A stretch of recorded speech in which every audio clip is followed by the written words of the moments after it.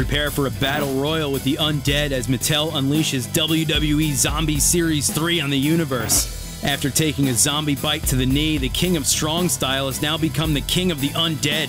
Shinsuke's head scan features his face in a pale, contorted expression with his hair flipped to the right side of his head, exposing a piece of scalp missing on the left side. Looking to do his best tribute to MJ's thriller, Nakamura is dressed in red pants and a red jacket decorated with black stripes.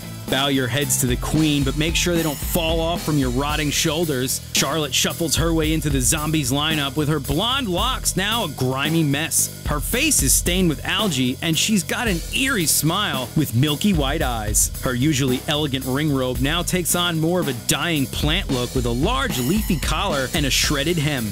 The Queen's ring gear matches her robe in color and is decorated with blue and gold designs, while her black kick pads outfit her ravaged legs. The zombified half of the legendary Hardy Boys is exactly that, as a massive injury to his torso has exposed his inner workings and allows him to be fully rotational. His eyes are completely white with what appear to be burn marks around his sockets, possibly from attempting to gaze at the deities.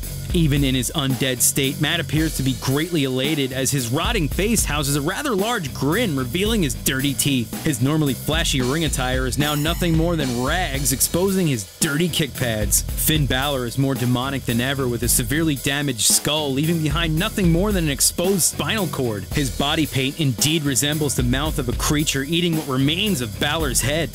His left arm and the center of his back show detailed levels of damage he possibly received en route to becoming one with the undead.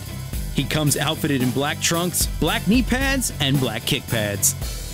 The devil's favorite demon has morphed into something beyond demonic with the most grotesque and frightening zombie figure yet. As always, Kane comes draped in his signature black stitched bodysuit with his red mask and hair. But once removed, we see that his face and portions of his body have been burnt beyond what we would recognize as the Big Red Machine. His right arm has been reduced to literally nothing more than flesh and bone.